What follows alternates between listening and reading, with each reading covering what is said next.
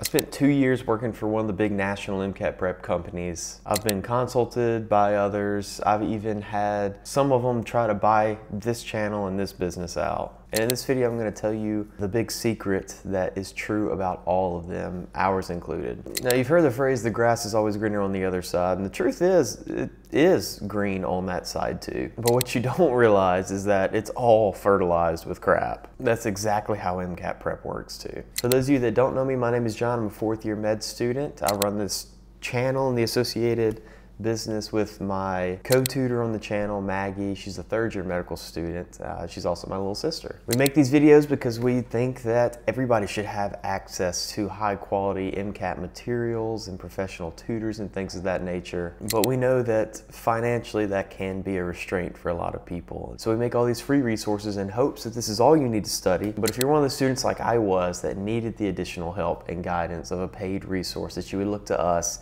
as a way of thanking us for the free resources that we put together. The big secret that most MCAT companies don't tell you that they probably should is that most MCAT prep programs actually work. Now that I think about it, maybe I shouldn't tell you that because I want you to buy ours and not theirs. But it's just true. Most MCAT prep programs will work. So yeah, Kaplan, Blueprint, ours, Jack Westin, Altius, like they'll all work if you actually show up, put in an exorbitant amount of work and follow the plan. If you can do that and you can practice intensely the right way, you're to improve with most any of them. And again, I want you to buy ours, but I don't want you to spend every dollar that you have and end up getting a worse score because you're jumping across resources because that is what can mess you up. And I'm not here to run some kind of like sales cult pyramid scheme. I'm here to try to get you into medical school. Now, every company has something that they're really, really good at and every company has their drawbacks. So for example, Kaplan makes really good books. They're very thorough. Their drawback is that they're very long and they can feel a little bit impersonal. A lot of those big companies can. I mean, Blueprint has that beautiful, you've seen it advertised on their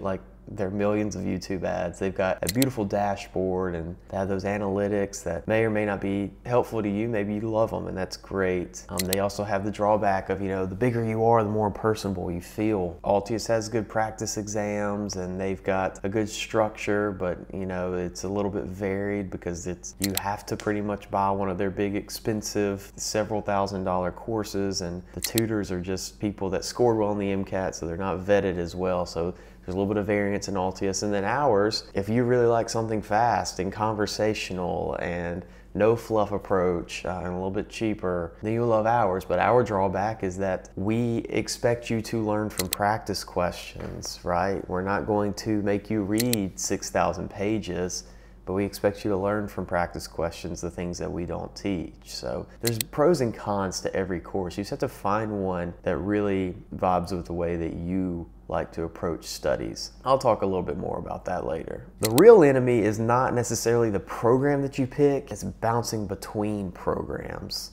You'll end up like second guessing yourself every week. You'll end up spending double what you should have spent or could have spent. I guess on the other side of this is a, you know, three, four hundred thousand dollar a year job. So whatever you spend now is completely appropriate, but it's more than you have to spend if you're taking multiple different courses. It also leads you to thinking like maybe this other course will fix my problem. It won't, right? That's the whole grass is always greener on the other side. Now the interesting part is there's actually like a psychological reasoning for this and this is true of everything. I actually learned it whenever I was looking up like a lot of business advice and it explains why it's so tempting to jump from new plan to new plan because for some reason, my brain thinks in standardized tests rather than business. But it's called The Emotional Cycle of Change. Uh, and it was published by some scientists named Kelley and Conner in 1979. And I still think it holds true. So, stage one of the emotional cycle of change is called uninformed optimism. And that's whenever you see a new resource and you're like, oh my gosh, this looks great. Like, this is what I need. It's uninformed because you don't know the crap that comes with it. You don't know the hard work that comes with it or the annoying things that come with it. And it's optimism because, you know, the reason that all companies can brag about and give this like 515 average is one, they're cherry picking their stats. But two, because they should all kind of work, right? Like there's a way to study for these tests, and there's a reason that every big national company has the same guarantee. It's because there's a formula that works not only for studying, but you know, for the people that offer those guarantees, there's a formula that works for cherry picking the stats too, which is unfortunate, but it's true. So you're in this uninformed optimism, you start something new, you're excited, you're hopeful, and you're like, this time it's gonna be perfect. I've got everything I need, right? But then reality hits and you're like, oh my gosh, this is still hard.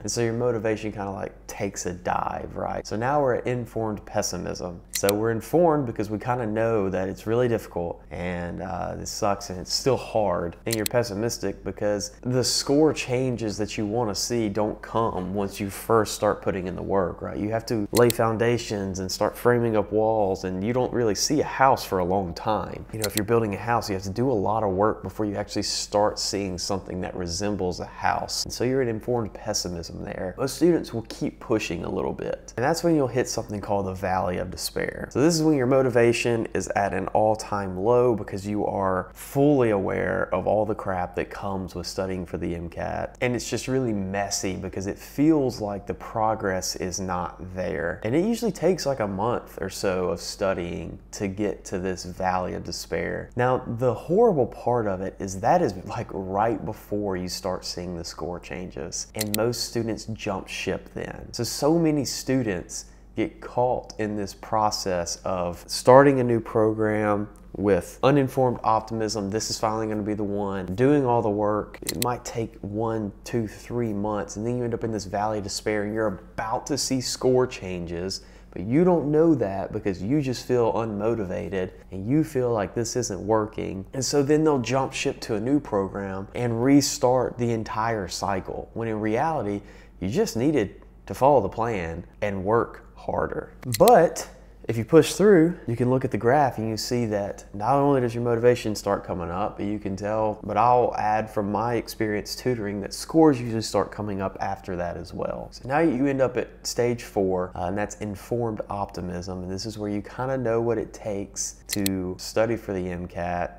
You're well aware of everything that comes with it, and you're optimistic because you start seeing some score changes and you're like, oh my gosh, this is finally working. Keep doing that for a little bit longer, you end up at success and fulfillment, which is that, you know, 510, 515, whatever the heck you want to score in the MCAT. So I say all this and probably hurt our business because I want you to know that whenever you feel stuck and you feel doubt like creeping in during this MCAT prep, you're not broken and you don't have to just assume you picked something wrong. You're probably just doing something really hard and this is what it feels like to grow. If any of you have ever tried to change the way your body looks, whether it be lose weight, gain muscle, or anything like that, you know that this cycle holds true for that as well. Um, you know, you're really uninformed and optimistic, like, I'm gonna start going to the gym, I'm gonna get jacked. And then you start going to the gym, you're like, I'm sore always, and I still look skinny fat. This was my example. And then it just keeps going down. You're like, my gosh, I haven't had a little sweet treat in forever. And I still look horrible. And then you start seeing the changes and everything goes up. You, you understand what it takes to get in shape and then uh, you end up at success and fulfillment maybe. Or maybe you just get like a body complex. But theoretically, success and fulfillment. So the moral of the story is that most every program is going to work, but every program comes with its own crap. By the way, I know that the real saying is not comes with crap, but it's the S word, but you don't ever want to hear me cuss. It sounds like hearing a cat bark it just doesn't sound right coming from me. But I encourage you, whenever you're picking a program, pick the crap that you want to deal with, right? So if you're going with a big box company, nothing wrong with that. But the crap that's going to come with that, number one is the price tag. Number two is that you might feel like a little bit of a number, just because, I mean, they've got tens of thousands of students. There's no way that you can email the support email and get the founders like you can with me and Maggie in our business. And they go like a better safe than sorry approach. So there's gonna be a mountain of content. So that's the crap with them. The crap with ours is like, if you don't like the way that me and Maggie teach, you're not gonna like our course, right? Because we're the ones that teach all of it. We go through all the high yield sciences, we teach them. And if you don't learn from like a conversational style, of us trying to just talk to you, not like a textbook, and us trying to like link everything together and our attempt to teach the sciences the way that they're tested on the MCAT. If you don't like that, you're not gonna like ours, right? if you don't like getting practice questions in early and using them as like a tool rather than a measuring stick, you're not gonna like ours because that is our approach. We are like, we're gonna cut the fluff, we're gonna streamline this. That means that everything you do with us is important. If you like busy work, you're not gonna like ours. Pick your crap that you like. It's weird to say, but do it and just stick to the plan. If you're anxious and you're like, well, what if I pick one of the few that doesn't work? Because they exist. I wanna encourage you, give it 30 or 60 days of just uninterrupted effort, right? Just hustling and keep track of where you feel like you're on that emotional cycle of change. Once you feel like you're at that valley of despair where you just feel like you're putting in tons of work and you see no score changes, give it two more weeks. If you don't see anything in two more weeks, you can go change whatever. But it is true that momentum beats the perfect strategy. And every time you change, you're shifting your momentum. So if you are the person that you feel like you're in the valley of despair and you're like, I understand all this, but I, I just have to change, just do it now. Just do it today. Go ahead and change so that you can start that cycle back over. The good news is that steps one through three of that cycle, they go a little bit faster every single time, right? But you only know how to beat levels one, two, and three of the video game. You haven't figured out how to be level four of the video game, so that's still gonna take the same amount of time. So pick your crap, stick through it. Full effort on one program is better than half effort across three or four programs. And it's also like builds some discipline, right? Because that's what's gonna get you through medical school. It's not motivation or confidence or affirmations, it's discipline. I did not wanna wake up on a Saturday and do 800 Anki cards every day during med school, but that is just what I had to do. That was on the checklist, and so it got done. Now, if what you are interested in is conversational, application focused, context driven teachings with early practice questions, I would encourage you to look at our UWorld XIFD high yield course. Be the first link in the description. If you want it, grab it, commit to it. If you don't want it, you can still watch these videos for free. There'll be another one either this week or next week. We've also started posting a lot on uh, TikTok and Instagram and things of that nature. So if you like short form content, that exists as well. Thanks for watching. I'll see you in the next one.